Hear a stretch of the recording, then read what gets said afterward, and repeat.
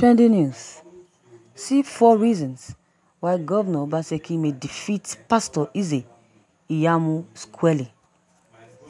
With the primaries of the PDP and APC concluded in accordance to the INEC guidelines, where Governor Obaseki emerged the flag-bearer of the PDP following his decampment to the PDP, and Pastor Osagie Iyamu flying the flag of the APC, the focus is now in the final election slated for September 19, 2020.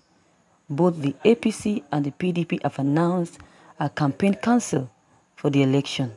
The APC campaign council is headed by Governor Ganduje and the PDP campaign council is headed by Governor Wike. The Edo State Gubernatorial election will be a limit to the political relevance of Oshiomhole in Edo State after his unceremonious removal as the national chairman of the party and the political sagacity of Governor Obaseki. The reason is that Oshiomhole is determined and bent on stopping Governor Obaseki's second term bid because of their ir irreconcilable differences and moreover Pastor Osagie Ize Iyamu is his can candidate to replace Governor Obaseki. Here are these three reasons why Governor Obaseki may defeat Pastor Ize Iyamu squarely. 1. The developmental strength of Governor Obaseki during his first tenure would definitely sway enormous and the vote to him and the PDP. There is a difference between I will do and I have done it. Pastor Ize Iyamu will be telling Edolites in his campaigns what he plans to do. Governor Baseki in his campaigns will be representing his core code for to Edo, Edolites, showcasing his achievement in the last four years. With the achievements of Governor Baseki in his four years stint as governor, Edolites will rather trust him than Pastor Osagie Ize Iyamu and vote for him massively. 2.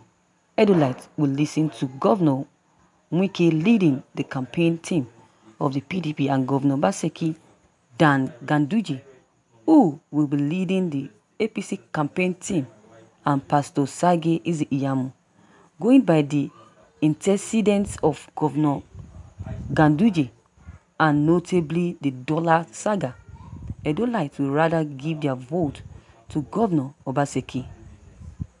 The president and majority of the seven governors are in support of the re-election of Governor Obaseki.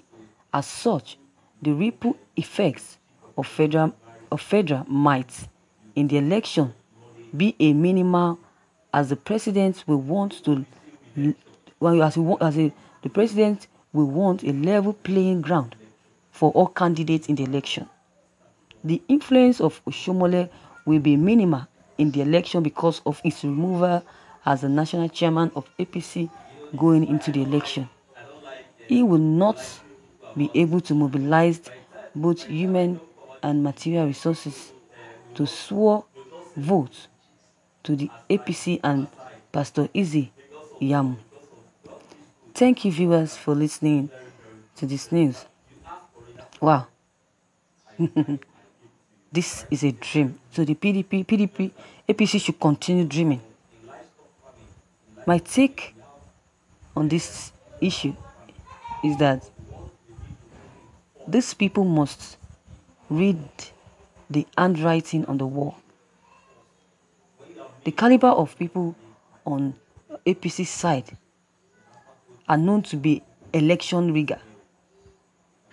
And they had they have even uh, uh, uh, life they have their lives. They know that they, they will definitely their lives are going to be lost very soon. Example of this person, of these people, is uh, Yahaya Bello. Ganduje and Omo Agege. PDP never sleep over it. These are lawless people. They are more or less mad gangs. Do they think that they will definitely win this election? I know that if the election is being won by APC, they will definitely rig the election. They will definitely rig the election because they are used to rigging elections. They can never change. This is why I don't like APC. I used to support APC before now, but no more. I no longer support APC. Yes. Not even for a reason. I don't support APC at all. A lot of people say that PDP cannot win the election in Edo State. It's even preferable for PDP to win than APC. I used to like APC. I used to love APC. I used to support APC before. But now that I've heard a lot about people in APC, I regret ever voting for APC or supporting APC. Yes, though there are other factors like the way Obaseki was dropped by Oshiomhole's committee.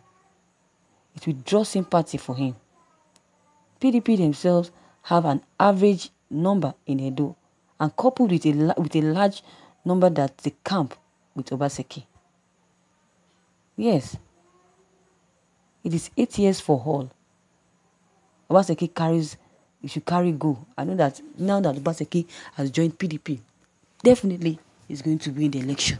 So, I think now a, a PDP should be the one to uh, to win in this um, governorship election in Edo State.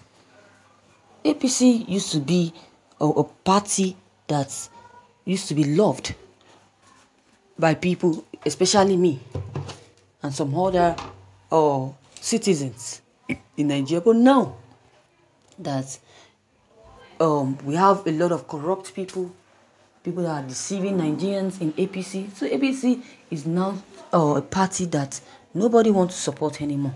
People are now regretting ever supporting the party instead of PDP. Now PDP is what is on board now. PDP is on board now. So PDP, people has uh, they, they have made up their mind to keep supporting PDP. So I think that Obaseki will, will definitely emerge the winner of the Edo, Edo, Edo State governorship election and not uh, uh, and not Eze Yam. So Ganduje is just deceiving himself. Yes, Obaseki is the winner. Is is already the governor and not uh, uh, Ezeyamu. Oshiomhole used to support, has been supporting Ezeyamu since the beginning of this election. But now that Oshiomhole has been um, suspended by the court, that is suspended as a chairman of uh, the party, I'm very much sure that the chance of Osagie becoming the, the governor in Edo State is very slim. It's very slim.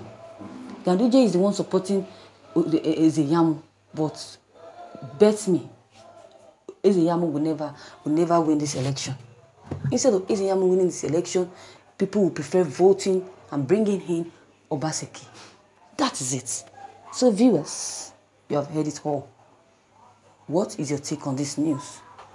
If you have any comments concerning this news, don't hesitate to drop your comment below the comment box. Click on the subscription button as well as the bell button to receive updates whenever I publish new videos. And don't forget, share and like this news as well. Thank you.